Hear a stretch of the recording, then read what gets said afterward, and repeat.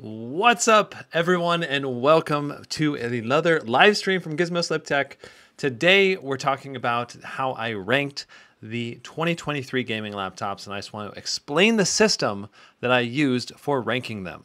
So that's the goal of today's live stream. Um, it's not going to be too long. I'm going to keep this short and brief today because I do have a dinner with my parents. We're going to go to. So let's dive right into it. Okay. All right. So let me go ahead and get it pulled up. So right now we have the ranking system here pulled up. Let's pop over to it.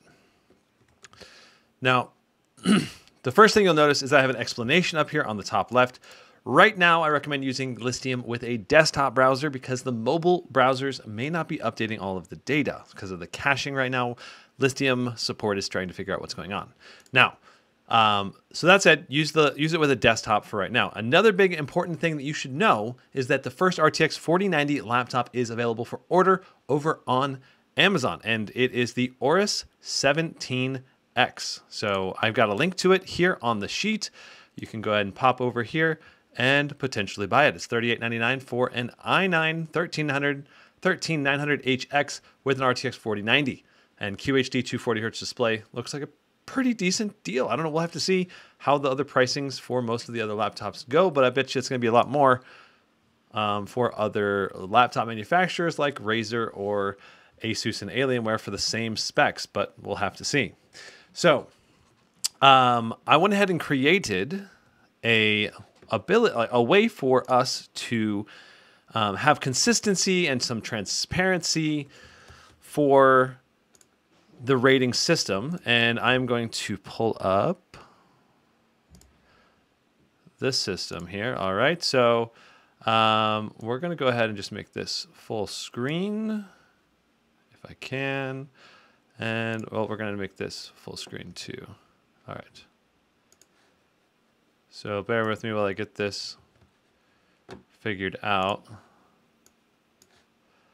Gotta make it smaller adjusting the size. Perfect. All right. So the first thing that you should know is, uh, so let's just start here from the rating system because um, I'll probably put this video at the top of this list right here. Um, on the top of this list, I'll put this, uh, replace this all 2023 gaming laptops video so that way people can easily figure out how these rating system works for right now. So, laptop rating combined. So, this is the first and most important category. It combines the score from all of the different ratings into one cohesive score that gives you an overall idea of the laptop. Now, the thing about this, uh, the thing about the laptop combined rating is that it is, I gotta put it right here. There we go. All right. Um, so this laptop combined rating this is a three times weighted for thermal design and two times weighted for display quality. So, and all the other categories count for 1x because I think thermal design is the most important aspect of a gaming laptop. With display, how the the user visually interacts with the the laptop as the second most important aspect of a laptop, at least when you're going to purchase one. Now, there's obviously lots of important categories, especially build quality is another very important one. But uh, the first two being thermal design and display quality having two times more weight is very important for you to understand about the rating system. Now,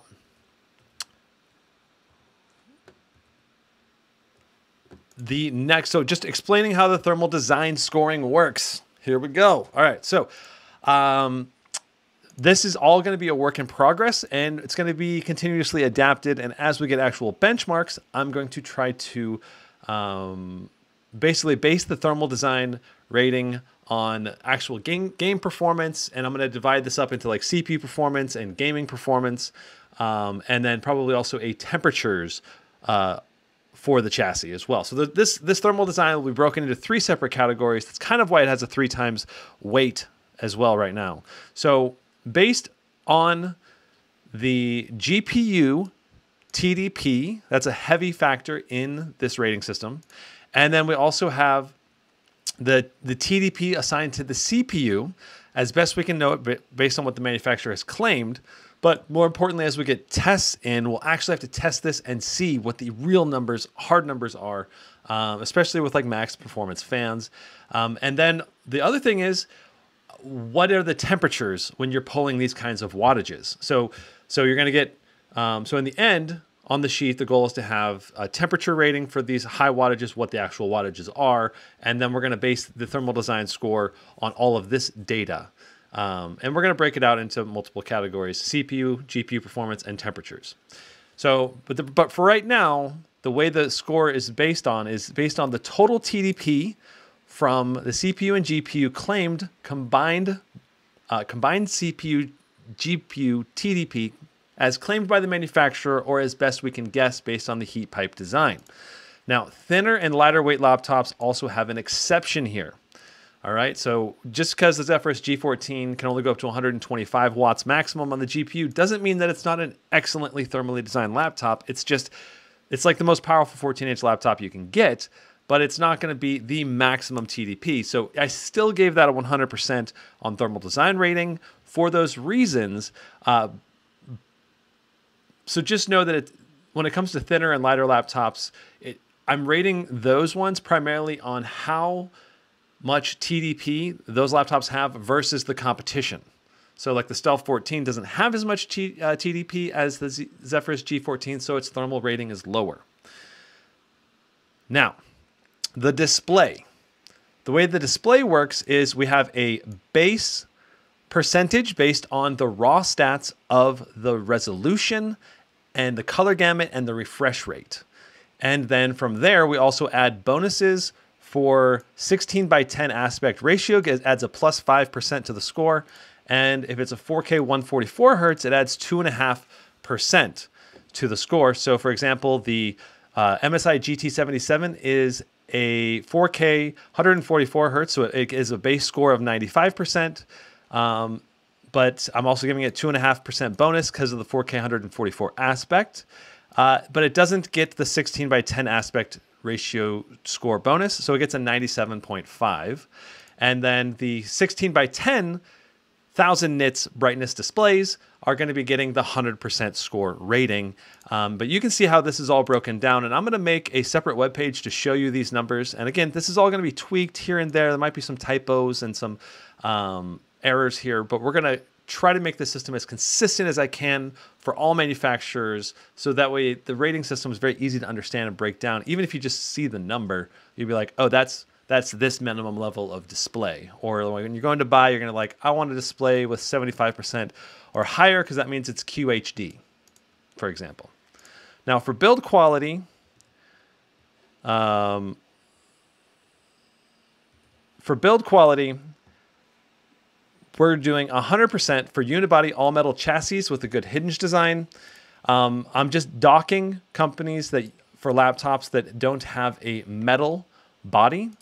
And then up to 40% reduction in build quality based on flex in the chassis. So the more flex in the chassis, I'm taking maybe 10, 20, 30, or if it's really bad, 40% off of the build quality up to minus 50% for poor hinge design. That's really hard to know, but some laptops you can kind of tell this is probably not a great hinge design. It's probably going to break eventually. Um, up to 15% plus for looks and functionality of the chassis. So, for example, the Zephyrus Duo has a secondary screen that comes up to increase airflow. That is what that's talking about. So, um, we're going to try to to incorporate these different aspects of laptop design into the build quality. So it's this is actually build and design quality. And then we're also deducting some points for really heavy laptops, either 10 or 20%, depending on how much the laptop weighs.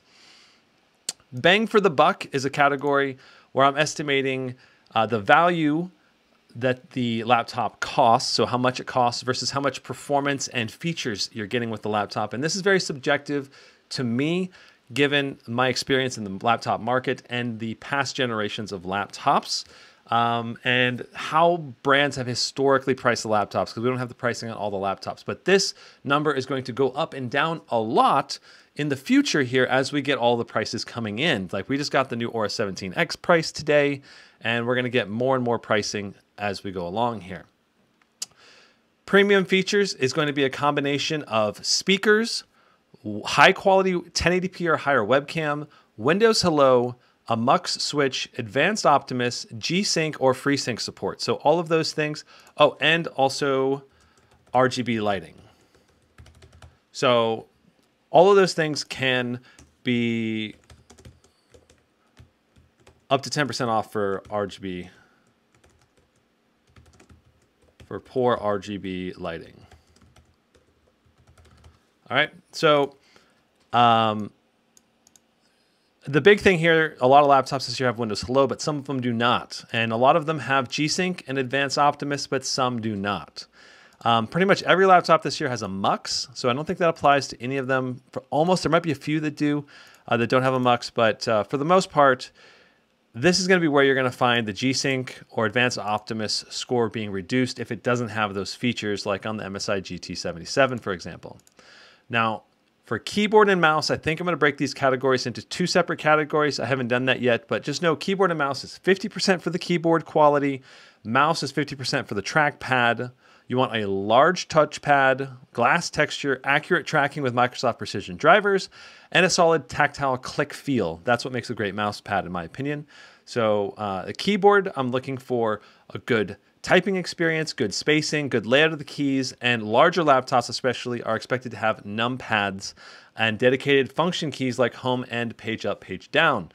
Um, and good key backlighting is also crucial for high quality or high scores in the keyboard score. So if there's bad keyboard backlighting, it might be deducted by five or 10 points as well. Battery life, we need more battery tests to go on with this new generation of hardware.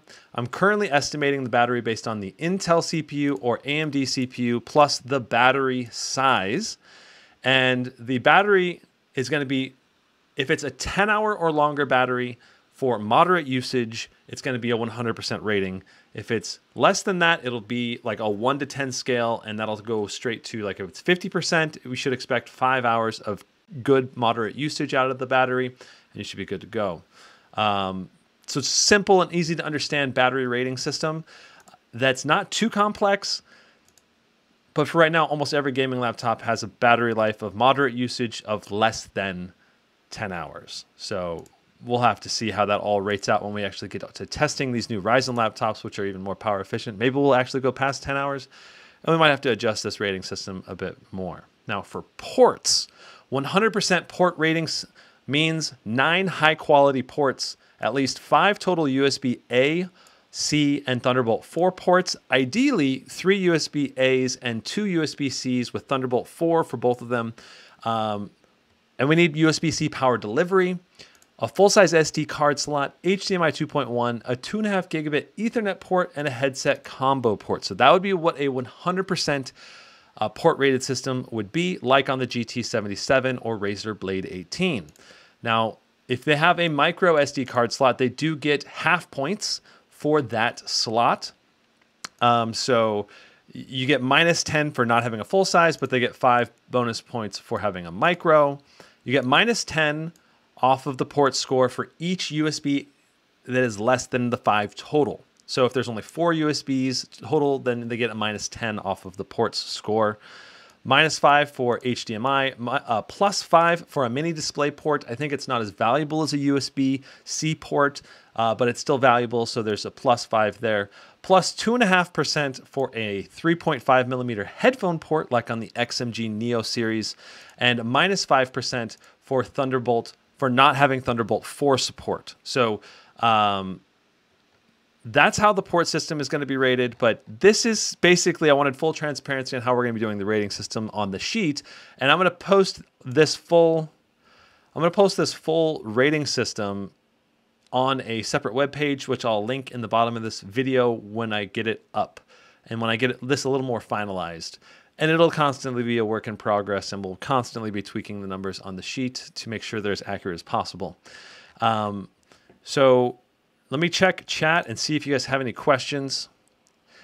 Um, Fisherman says, I feel like not long ago I bought a new laptop. Not long ago I asked you Gizmo that I wanted to swap my display from a 1080p to 1440p in my GE76 Raider, and I did it. I needed a new E dis- DisplayPort cable. Cool. Are there any laptops over seven and a half pounds anymore? Yes. The Alienware M18 is 9.2 pounds. It's a big guy, big heavy thing. But there's not many of them. I think that's the only one over seven and a half pounds. Are there prices for new laptops? We just added a new price for the Aorus 17X. It is $38.99 for a 4090, and you can buy it now. If you go to the sheet, uh, which should be linked down below, let me go ahead and show you that. Um, so popping over to the sheet, the Aorus 17X. Um, if you go to the page along the bottom here is where all the buy links will be placed. And as we find more buy links, we're going to keep adding more and more links. So go over here. You can see the Gigabyte Aorus 17X is now available for pre-order. It'll be released on February 8th. So have at it if this is one you're looking to get. I think this pricing is going to undercut um, the Blade and Asus laptops, but this might be pretty competitive with like the Strix G um, 18 pricing, but that one only goes up to a 4080 anyway. So I don't know. This is going to be interesting to see all the pricing as we come. It's hard to say how great of a bang for buck this pricing is yet, but it's this isn't egregious pricing. It isn't as bad as what we've seen on some of the Razer leaked pricing. Um, so I'm curious. I'm curious. What do you guys think? Is this pricing way too crazy, or is this not that bad? I don't know. I was kind of hoping for more like 3600 for this spec unit but I'm sure we'll get there with sales later this year. Probably 3,600 is very realistic for a sale. Um, popping over to chat again. What about XMG laptops? Why are they not listed? They are on the list. There's XMG laptops on the list. I don't know what you're talking about. Um, right here, XMG Neo 16 and 17. Kaboom. So go ahead and check that out.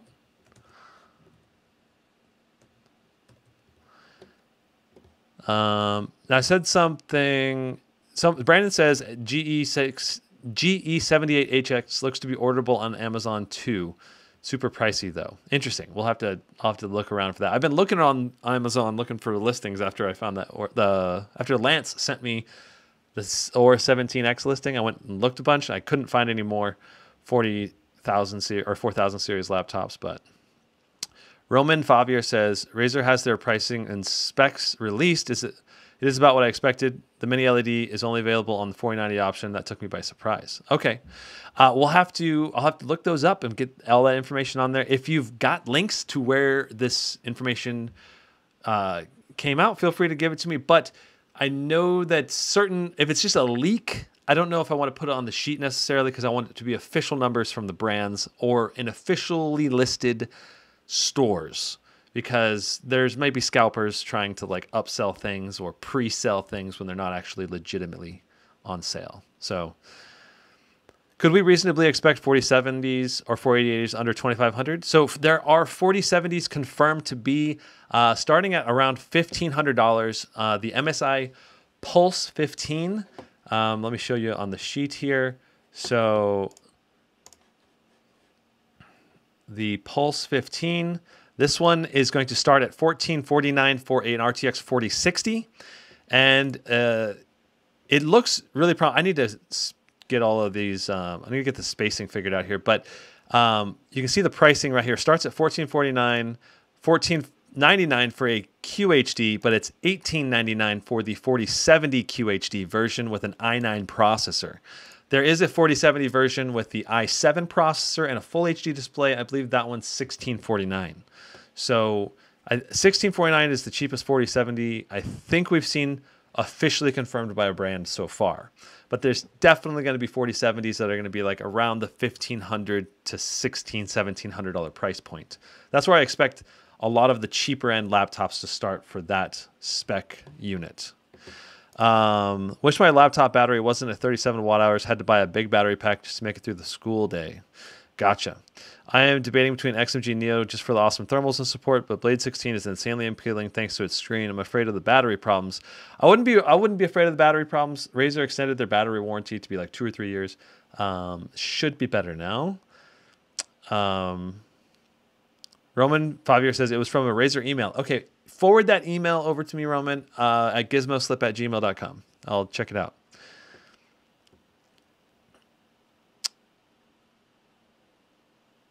so Brandon, the links aren't going to work in chat because YouTube is like that.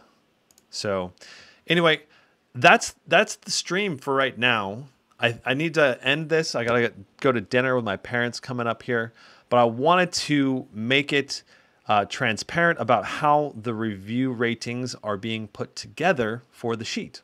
And I'll be bringing you guys some videos very soon about top 10 gaming laptops for 2023 is going to be the next major video I put together. I think now that the rating system is done, I can, uh, I believe, fairly compare these laptops as best we can with the information we have right now. Um, but uh, but yeah, that's that's it for the stream. Thanks so much, guys. Hit the stream like button. I'll see you in the next one. Okay, Brandon out. Huzzah.